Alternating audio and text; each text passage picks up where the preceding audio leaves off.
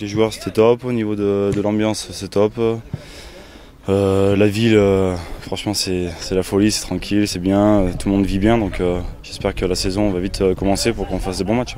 du coup comme c'était un match de préparation, on a essayé d'envoyer du jeu, on a essayé de, faire beaucoup de passes, après ça n'a pas fonctionné tout le temps, donc on a pris des turnovers, on a, un peu subi à la fin, et voilà, donc je pense que là demain on va mettre l'accent sur le combat, l'engagement, l'énergie sur la précision, essayer de basculer et dans une semaine, euh, dans huit jours, là, le championnat commence. Donc euh, à nous de, faire l'effort et de, s'envoyer comme, euh, comme des chiens. Ça fait six mois qu'on pense qu'à ça, donc ça fait six mois qu'on se prépare pour ça, ça fait six mois qu'on pense jour et nuit à ça, donc là c'est jour J dans huit jours.